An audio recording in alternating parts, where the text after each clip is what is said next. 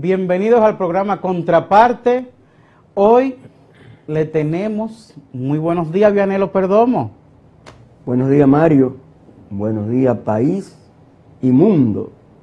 Hilando Fino TV en otra entrega de su programa Contraparte, dándole gracias a Dios porque nos ha dado un nuevo día en salud y vida, un fin de semana muy cargado, extremadamente cargado, porque y un país que Dios nos, nos ha demostrado este fin de semana que nos bendice, porque llegar al sábado con las 32 provincias en estado de emergencia por la amenaza del huracán Elsa. Rojo, amarillo y verde el Sí, país. sí, a- teníamos 9 en rojo, Lista de advertencia. 16 en amarillo y las restantes 7 en, en verde.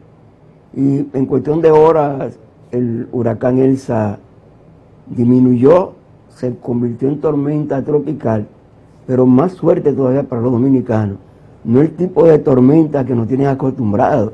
Aquí las tormentas acaban con todo. Apenas tuvimos ahora unas tres carreteras afectadas, unas 24 viviendas afectadas, un muerto en Barahona, un muerte- una muerta en Baní, eh, solo 24 eh, personas Bien, no se pudiera decir que Elsa se dejó querer, pero también Elsa, como huracán, como fenómeno atmosférico, también eh, trae un beneficio, independientemente de lo que tú has dicho, que eso es otra realidad, trae un beneficio a la agricultura. Bueno, creo que sí, porque recordemos, por ejemplo, que en septiembre de 1979, en el gobierno de don Antonio Guzmán Fernández, eh, vino el huracán David, prácticamente David no hizo nada.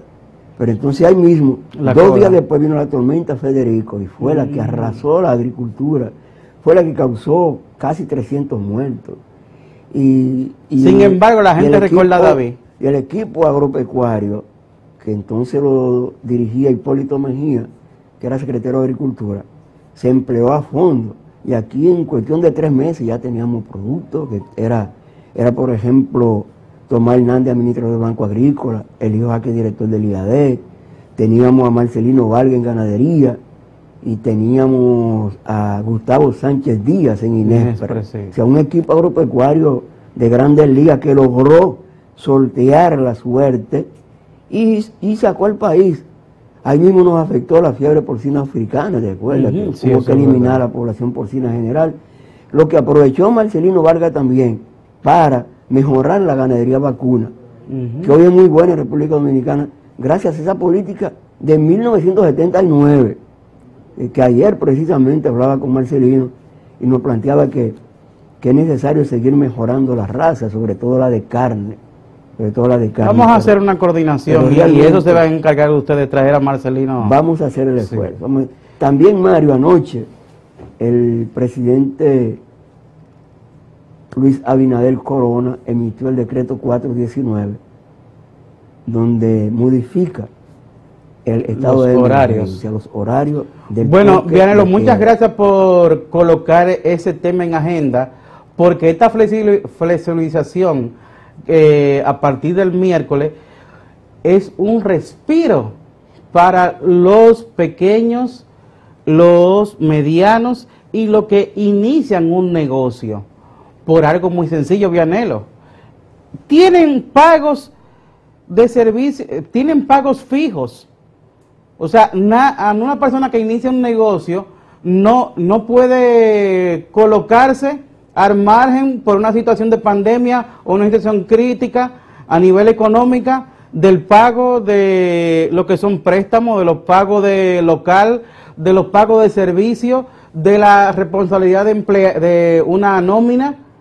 Sin embargo, todavía tú ves que siguen abiertos el sector comercial, el sector Si tú empresarial. ves, por ejemplo, que, que el, el- el nuevo horario a partir del miércoles hasta De las las 10. 10, con dos horas de libre tránsito, hasta las 12, como pero me da la impresión de que cuando se modifique de nuevo, ya. el Gran Santo Domingo eh, va, va a ser abierto, entiendes, a la provincia y el Distrito Nacional, porque el propio decreto te dice que en el próximo cambio, aquellas provincias que tengan el 70% vacunado, va a haber apertura. Por ejemplo, la provincia de la Altagracia está en un 60 ya.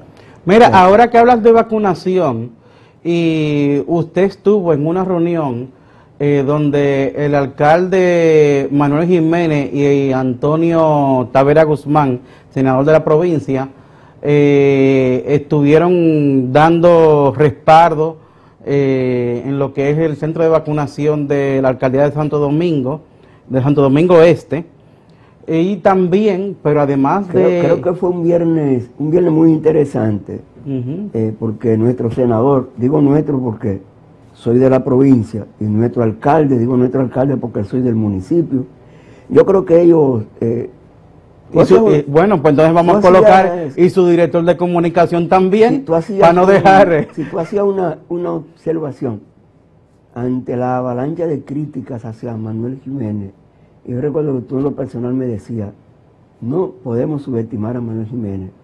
Y yo te corroboro porque conocemos hace mucho a Manuel Jiménez porque estuvimos juntos en un equipo político en alguna ocasión, en dos equipos políticos en alguna ocasión y nosotros estamos totalmente seguros que tres años que le faltan a esta gestión de la alcaldía, él tiene tiempo para hacer cosas, para corregir cosas. Como mismo tuviste que yo en la reunión me presenté como periodista, pero cuando me tocó hablar, no hablé como periodista, sino como munícipe. Como un activista social también. Y le hice, algún, le hice algunos señalamientos, algunas observaciones, en la, en que el amigo Jonathan Liriano, que es el nuevo director de, comunicaciones yo creo que es un buen equipo porque Jonathan tiene intención, está acompañada de una buena gestora en materia de prensa como lo es Santa Marte, que es ahora la nueva encargada de prensa, que es nuestra amiga, con, la que también hemos trabajado en algunos proyectos. Y la lo que más me gustó fue la disposición de los periodistas y comunicadores del municipio en sumarse a una gestión. Eso es importante porque, por ejemplo, nosotros que pertenecemos a una junta de vecinos y a un consejo de desarrollo del municipio, sabemos lo que vale el trabajo social, como bien tú, has señalado. O sea, tú tienes que convertirte en un activista del desarrollo de tu comunidad si de verdad tú quieres que la cosa se solucione. Bueno, usted sabe a lo que yo fui. Claro, no, solamente fue a saludar a, Manuel, eh, a, a, Jonathan Liriano, es a buscar una re rehabilitación urbana de una zona que está al lado de la alcaldía. Qué penoso como está, como está esa, esa esquina ahí, ¿te entiendes? Que puede mejorarse. Es, lo que decimos. Yo no hago nada con denunciar que en la calle María de Toledo, donde yo vivo, está llena de basura. Si yo no limpio el frente de mi casa. Tanto usted como yo somos personas proactivas que somos puentes. Cada quien con su personalidad y su criterio. Así mismo. Pero somos puentes. Así es. Mira, lo Perdomo, le voy a decir algo. Eh, la gente me pregunta por Salvador Holguín. Bueno. Sin embargo, ¿tú sabes en lo que está Salvador Holguín? En lo que siempre ha estado, contribuyendo con temas nacionales, pero prácticamente buscándole solución ha sido coherente. Más enfocado eh, en su provincia. O sea, uno, una de las cosas más positivas que tiene Salvador Holguín es que nunca, nunca se ha desconectado de sus orígenes. Desde que yo lo conozco siempre daba un primero. Mira, cuando tú te vienes a la capital y no te desconectas de tus orígenes, lo principal en eso es que Dios te ve. Yo te veo. Pero tú sabes por qué yo coloco el nombre de Salvador, de Salvador King. Y no es porque lo tenga que hacer, sino porque Salvador King está gestionando una extensión de la UAS para la provincia de Jabón. Yo creo que lo tiene casi conseguido ya. Creo que lo tiene casi conseguido. A nivel del presidente de la República, pero también a nivel de las autoridades de la UAS.